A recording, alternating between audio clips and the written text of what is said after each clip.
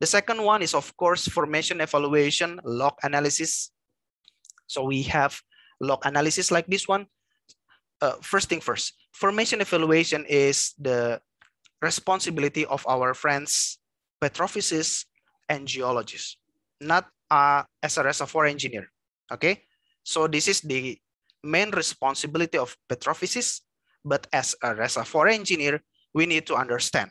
So we can talk with our petrophysicists, we can discuss with them, and from that discussion, we can know the reservoir better. So yes, we still need to understand formation evaluation, but not as deep as our friends petrophysicists. Okay, so from formation evaluation, our main tool is log. Okay, log from various types of logs. Like this one, we have caliper to know the hole size and the hole condition, gamma ray log to know the lithology, whether we have shale or non-shale, maybe sand or maybe limestone, spontaneous potential to distinguish uh, permeable layer from non-permeable layer, and then resistivity log to know the water saturation and to know the oil zone or gas zone or the water zone.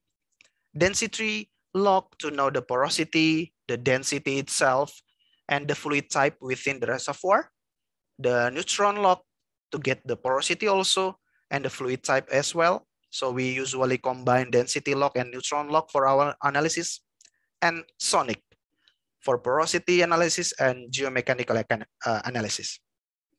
We get this information from our log analysis, log measurement, and we then analyze the property of our reservoir, the porosity, the permeability, the lithology, and then the fluid type, whether we have oil, gas, or water. And then of course, we need to complete our reservoir, our well, in the zone that we want to produce from, maybe from the oil zone, or maybe from the gas zone, or sometimes we produce from the water zone. Okay, the measurement that give us the information, yes, this is an oil, an oil zone, yes, this is a gas zone, or yes, this is a water zone, is of course the formation evaluation or from log analysis. Like this one, we usually get this kind of log, but of course the, the real log, the actual log is far more complicated, far more busy than this one, okay? But using this one, it's a good start for us to learn about log analysis.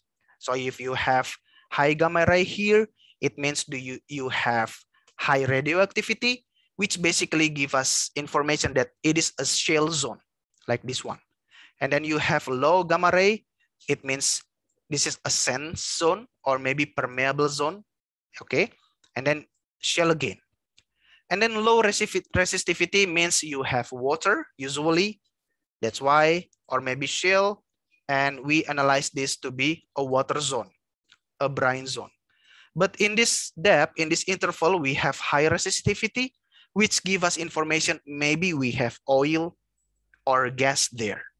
So resistivity already provide us a good indication of hydrocarbon, but that's not enough. We need to know where the gas is and where the oil is, okay? And we need to know that using this one, porosity log and density log. I mean neutron log and density log. Using the combination of those two logs, we now know that the upper zone is a gas zone. Maybe this is a gas cap and the lower zone is a oil zone. And of course, we want to complete our well on the oil zone usually. Okay, so we will then lower down our perforation, okay, perforation, and start perforation there. So we, we create a hole, and then from that, using those, those holes, we produce the oil to the surface, okay? So the main information comes from log, okay? And of course, by plotting all a lot of logs like this one, along our reservoir, we can get this one. Well correlation or reservoir correlation. From here, we can understand the reservoir connectivity, okay, throughout the reservoir, across the reservoir. So like this one using this plot or using this information, using this correlation, I know that I have two zones, this one, zone A, and the lower zone, zone B. Okay, so maybe if you find oil here, you basically maybe also will find oil here and maybe oil here. All right, so usually oil is located lower than the gas. So if you find oil here, maybe you will get gas here. Okay, so this kind of analysis we do with the petrophysicists and with the geologists. But it is very, very interesting.